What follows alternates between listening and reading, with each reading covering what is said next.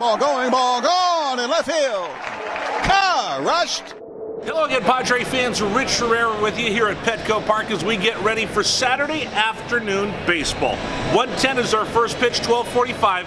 I'll start off the pregame show on FM 94.9 Padres Radio. A special treat. After last night's victory, the Padres have two opportunities today. One, they can win the series, and number two, they can pick up the first big league career start and turn it into a victory for Miguel Diaz, who starts today against the former Padre Ian Kennedy. You hear all the action with Ted Jesse coming up here on FM 94.9 Padres Radio.